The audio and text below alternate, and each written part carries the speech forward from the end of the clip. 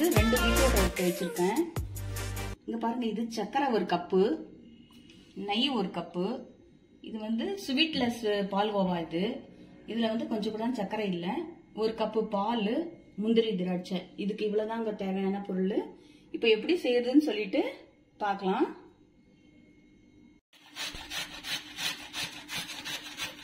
நம்ம எடுத்து வச்சிருந்த ரெண்டு பீட்ரூட்டை நல்லா தேங்காய் துருவுற மாதிரி துருவி பாருங்க நான் ஒவ்வொரு பவுல் ரொப்பி எடுத்து வச்சிருக்கேன்.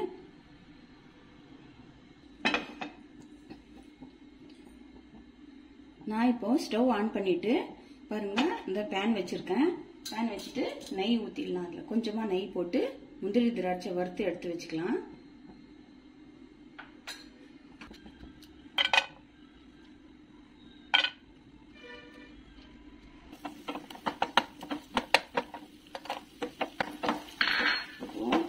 ஃபஸ்ட்டு ஃபர்ஸ்ட் வறுத்து எடுத்துக்கணும். அதுக்கப்புறம் திராட்சை ரெண்டும் வறுத்துட்டோம். ரெண்டும் எடுத்து வச்சுக்கலாம். கிண்ணத்துல பவுலில் எடுத்து வச்சுக்கலாம். ம். முந்திரி திராட்சை தனியாக ஒரு பவுலில் எடுத்து வச்சுட்டு இப்போ பாருங்க நம்ம துருவி வச்சிருக்க பீட்ரூட்டை இந்த நெய்யிலே சேர்த்து நல்லா ஃப்ரை பண்ணிக்கணும்.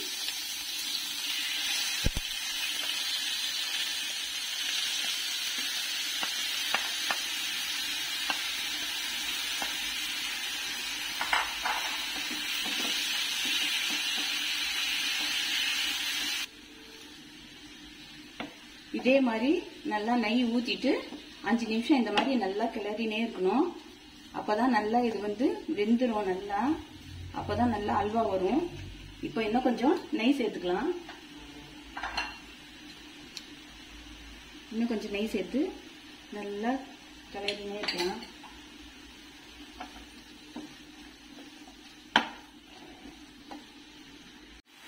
இப்போ பாருங்க அஞ்சு நிமிஷம் ஆயிடுச்சு. இப்போ நம்ம பால் எடுத்து வச்சிருக்கோம் இல்லையா? அந்த பால் வந்து இதுல சேர்த்துடலாம்.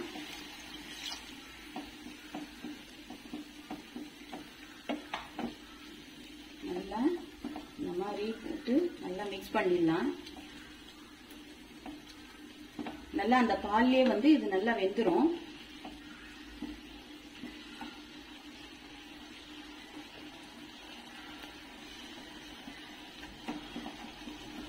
ஒரு அஞ்சு நிமிஷம் வந்து நம்ம இந்த மூடி போட்டு மூடி வச்சிடலாம். இப்போ பாருங்க பச்சை வாசனை போற வரைக்கும் நல்லா இந்த மாதிரி கிளறி விட்டுட்டோம். இப்போ நம்ம வந்து இந்த பால்கோவா எடுத்து வச்சிருக்கோம் பாருங்க. ஸ்வீட்லெஸ் பால்கோவா இது.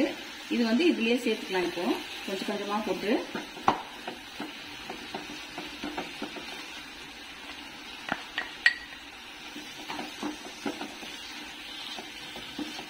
தண்ணி நல்லா கெட்டி இல்லாத இந்த மாதிரி கட்டி கட்டியாக இல்லாத மாதிரி நல்லா இது மிக்ஸ் பண்ணி விட்டுடலாம்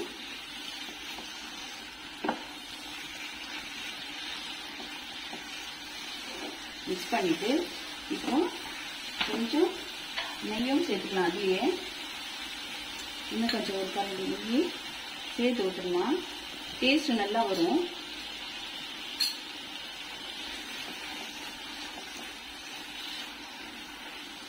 பாருங்க அந்த பால்வாவெல்லாம் நல்லா கரைஞ்சி நல்லா இந்த பதத்துக்கு வந்துடும் பாருங்க நல்லா இந்த மாதிரி ஆயிடுச்சு. இப்போ வந்து இந்த பதம் வந்த உடனே கொஞ்சமாக இந்த சக்கரை போட்டுடணும் ஒரு கப்பு. உங்களுக்கு தேவையான அளவு சக்கரை சேர்த்துக்கலாம். நிறைய ஸ்வீட்டா நல்லா சாப்பிட்றவங்க இருந்தால் நிறைய போடலாம். இந்த பாருங்க நான் சேர்த்துட்டேன். இப்போ கொஞ்சம் கொஞ்சமாக லைட்டா இந்த மாதிரி சேர்த்து கலக்கிட்டே இருக்கணும் இந்த மாதிரி. நல்லா உருகிடும் அது. இப்போ பாருங்க நல்லா பதத்துக்கு வந்துடுச்சு இப்போ பீட்ரூட் ஹல்வா ரெடி ஆயிடுச்சு. கடைசியில் நம்ம வறுத்து வச்ச முந்திரி திராட்சை வறுத்து வச்ச முந்திரி திராட்சையை இதில் போட்டு சேர்த்துடலாம்.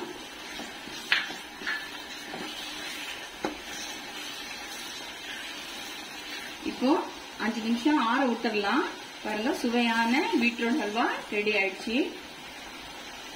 ஸ்டவ் ஆஃப் பண்ணிடுறேன்.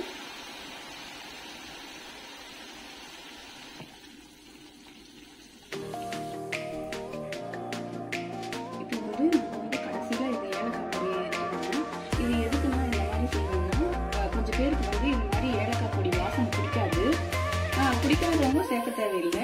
நல்லா இந்த மாதிரி நல்ல வாசனையாக இருக்கணும்னா இந்த மாதிரி ஏலக்காய் பொடி செஞ்சுக்கலாம். பாருங்க இந்த பொடியை தூவி நல்லா இந்த மாதிரி மிக்ஸ் பண்ணி விட்டுருணும் நல்லா டே டேஸ்ட்டுக்காக போடுறதில்லை இது. நல்லா வாசனையாக நல்லா இருக்கும்னு சொல்லிட்டு தான் இது சேர்க்கறது. இந்த பீட்ரூட் வந்து ரொம்ப நல்லது. குழந்தைங்க வந்து பீட்ரூட் வந்து சாப்பிட மாட்டாங்க நிறைய பேர். அதுக்கு இந்த மாதிரி அல்வா செஞ்சு கொடுத்தா நல்லா சாப்பிடுவாங்க.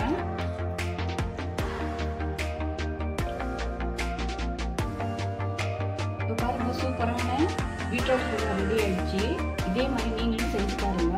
உங்களுக்கு பிடிச்சிருந்தா லைக் பண்ணுங்க ஷேர் பண்ணுங்க சப்ஸ்கிரைப் பண்ணுங்க.